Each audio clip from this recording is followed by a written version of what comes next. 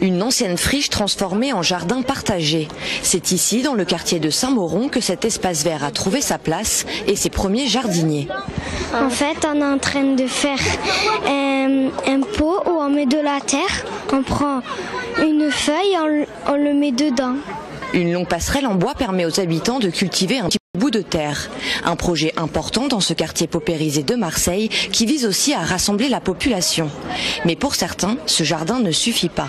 Le réaménagement, oui, c'est bien, parce que bon, c'est vrai que ça embellit une partie euh, du quartier, mais tout le reste, euh, c'est laissé euh, à l'abandon, quoi. Donc c'est pas la solution. C'est bien beau qu'il y ait ça aujourd'hui, mais il faut que ça suive. Et là, on se bat contre des moulins à vent, quoi. Car à quelques pas de là, en haut de la rue Félix Pillat, il y a ce lavoir qu'affectionnent particulièrement ses habitants. Mais chaque semaine, ils le retrouvent inondé de déchets. Alors un jardin pour le quartier, oui, mais pour eux, d'autres solutions sont à trouver. Et la maire de secteur le sait. Moi je comprends et c'est légitime que euh, un bout de terrain qu'on aménage en espace vert, c'est pas le bout du monde et c'est pas une finalité, mais euh, ça fait partie du processus d'amélioration du quartier et euh, il faut qu'on continue.